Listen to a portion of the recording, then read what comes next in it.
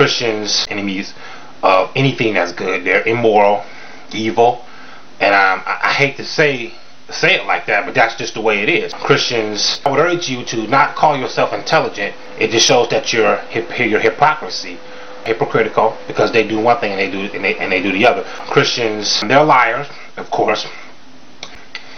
Adam and Eve, Adam and Eve, uh, basically, uh, uh, you know, when Eve went went in the serpent, Satan had told her, if you eat from the apple tree, you will, if you eat from the the, the, the, the, tree of knowledge and evil, if that's the right way, to, if that was what it was called, if I remember correctly, you will be, you will be, um, you will have the knowledge of God and be like God and all that stuff. So that that just shows to show you just how stupid their belief their, their belief system is.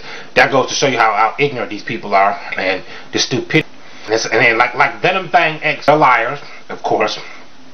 His knowledge of evolution is wrong. Christians liars, and I don't I don't know what what more can I say. They're enemies of the truth, and I really hate to call them that. But that I mean, what what more can you want to call me? That's all I can I can come to the conclusion that these people are very very uh, uh in, in, in professing themselves to be wise, they're fools. They think they say that they're intelligent, but they're not intelligent. Give me a rating. Give me some stars. All you gotta do is click on it with the mouse. Just leave me a fucking star.